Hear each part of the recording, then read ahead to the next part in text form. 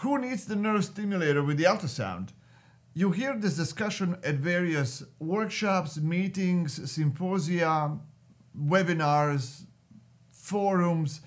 The regional anesthesia community is very special.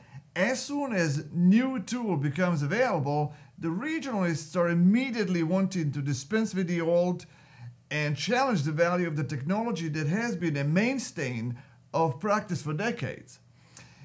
Everyone has been bored by many unproductive pro and con sessions at countless regional anesthesia meetings, pro con, nerve stimulation technique versus ultrasound guidance. But these are different technologies, these are different monitoring instruments, and they provide totally different information that is additive and not mutually exclusive. In contrast, general anesthesia has become a lot safer because of the better and more comprehensive monitoring. As an example, addition of the pulse oximetry in 1975, which was a Japanese invention by the way, did not replace visual monitoring of the patient's skin color. It was simply added as an objective monitor and a means of clinical communication. The capnography was introduced a bit later in the 1970s, but not as a replacement to pulse oximetry, but as a safety addition to the oximetry. So they simply combine these two instruments to provide more safety information. Likewise, general anesthesia introduced electrocardiography, non-invasive blood pressure monitoring, temperature monitoring. All of these have become standardized and universally accepted standard monitoring instruments in the anesthesia practice. In this video, I will make a strong cause for the use of nerve stimulation in the practice of ultrasound guided regional anesthesia, and I will show you some practical examples of where not using nerve stimulation could have led to the patient harm. So, nerve stimulators, I will admit, are not very practical. You need to store them, you need to have a battery replaced, you have to bring them to the point of care. You need to connect them to the patient and connect them to the needle. Somebody has to dial the nerve stimulator, dial to the current you want. You need to monitor the response. And after you're done with the nerve block, you have to put them together again. So they are not very practical, particularly when you have to combine the ultrasound guided monitoring. It just becomes a lot to monitor. However, they do provide information that can be extremely useful and protective of the nerves. When we performed a study that we published in Anesthesiology in 2003 about the electrical characteristics of the commercially available nerve stimulators for nerve blocks, it was simply unbelievable that there was no standard whatsoever with regards to their electrical characteristics. As an example, some units put out as much as 450 volts, whereas others were limited to 30 volts or less. And based on these results, we actually, with our paper, completely changed the industry and set out the standard electrical characteristics for the manufacturing standards of the peripheral nerve stimulators. As a result, today, the devices available on the market from any manufacturer are highly standardized and precise devices that could really make a meaningful clinical difference in terms of the safety when it comes to peripheral nerve blocks, even with the ultrasound guided blocks.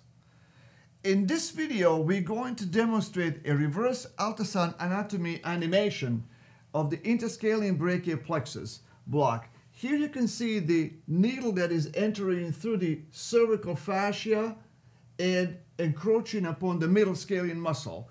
And as the needle continues its path towards the brachial plexus, what you will see is the needle pierces the muscle and eventually engages with the fascia of the interscalene brachial plexus. Here you can see that the needle now is pushing the fascia of the brachial plexus or the brachial plexus sheath, if you will, and at some point in time, the needle will penetrate it and enter inside the interscalene brachial plexus space. Now, it's very important to note that at this position over here, if the needle is connected or if the needle were connected to the nerve stimulation at 0.5 milliamps, you would have a motor response of the appropriate root or a trunk of the brachial plexus, which would actually alert you to the fact that the needle is very close, only maybe a fascia away from the plexus or from the trunk.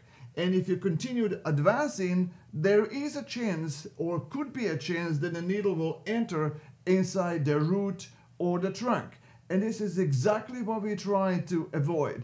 You may be able to see the needle nerve relationship on ultrasound, but that is very much subject to the image quality and your own interpretation, the lighting in the room and what have you. And it's almost impossible to document an ultrasound.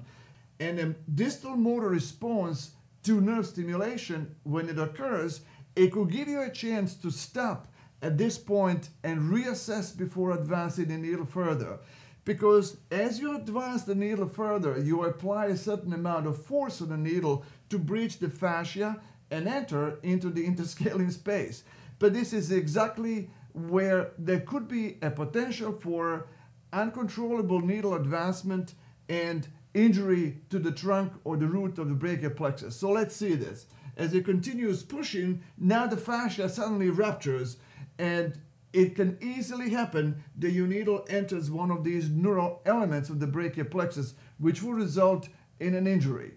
Okay, so it is very useful to have nerve stimulation attached to your needle as you're advancing because you may get responses that can help you make clinical decisions.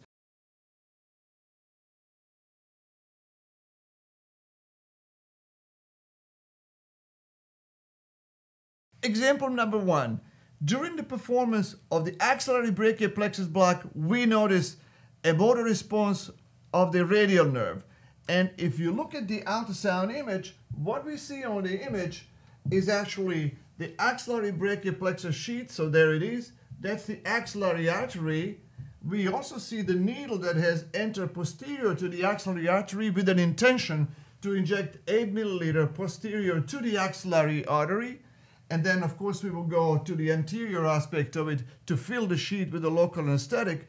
But now, if you look at this image over here, as much as we tried, we were not able to see needle radial nerve relationship.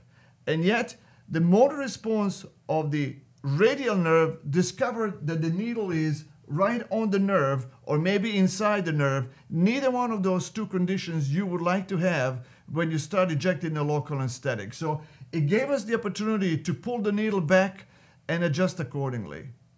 Example number two, in this axillary brachial plexus block performance, what we notice is unexpected biceps twitch.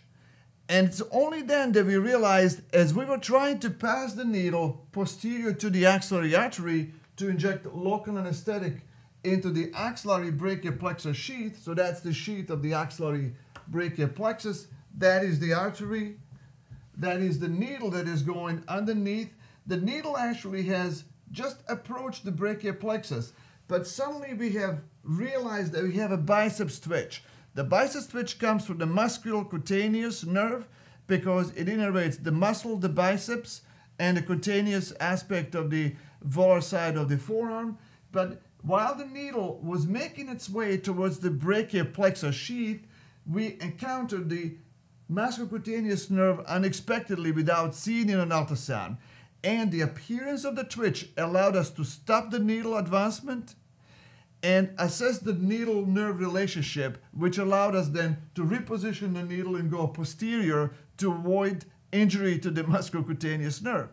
So here is the musculocutaneous nerve now. We just discovered it and allowed us basically to stop, pull the needle back, reassess the needle position, and then continue with the performance of the axillary brachial plexus block. Again, another example of how not having a nerve stimulator during your nerve block performance using ultrasound only, you could make these errors because there is the needle tip, there's the musculocutaneous nerve, and appearance of the twitch allowed us to stop the needle advancement before injuring the nerve.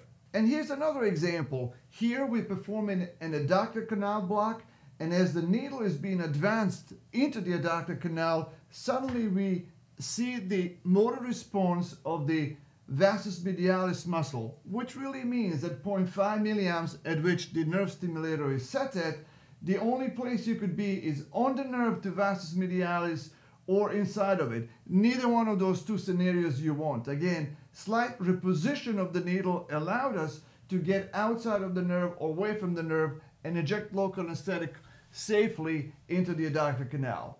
And here's another example. Here we're performing PENG block.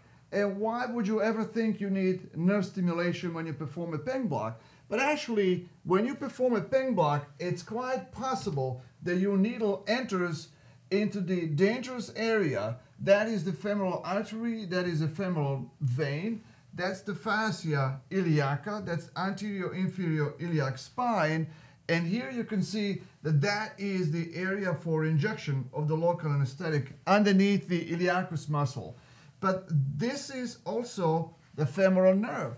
And if you do not insert the needle in a certain knowledgeable orientation, it's quite actually easy to spear the femoral nerve with a fairly large needle that we use for the PENG block. You can see how large that needle is. So if that needle enters the femoral nerve, it is quite possible that a needle like that, which is usually 22 gauge or so, can actually injure the fascicles of the femoral nerve and create the nerve damage.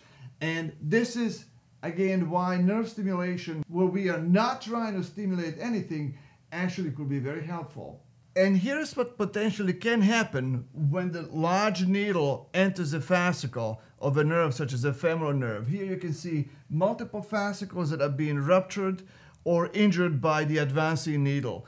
Nerve stimulation in the absence of complete visualization of the needle nerve relationship can actually detect this dangerous position. Let's review how we use nerve stimulation with ultrasound in peripheral nerve blocks for greater safety and sometimes accuracy. So when performing nerve blocks, we routinely use a nerve stimulator attached to the needle. The nerve stimulator is typically set at 0.5 milliamps and we use 0.1 milliseconds and 2 hertz stimulation. That is a typically factory stock setup when you get a nerve stimulator. Now, once you advance the needle under the guidance of ultrasound and the needle attached to a nerve stimulator, there are three specific scenarios that can happen. The scenario number one is you place a needle in what appears to be an adequate position by ultrasound, but now you don't have a motor response. The next thing to do is you don't have to have a motor response. You inject one or two milliliters of local anesthetic. If the injection pressure is normal and the dispersion is adequate, don't look for a motor response, complete injection, and the nerve block is complete. The scenario number two, we do the same thing, advance the needle under ultrasound, but now we have a motor response at this current. What this really means that we are on the nerve or inside the nerve, we have just missed it. In that scenario, you want to refocus to make sure that you recognize the needle nerve interface or pull the needle slightly so you don't have a motor response at 0.5 milliamps.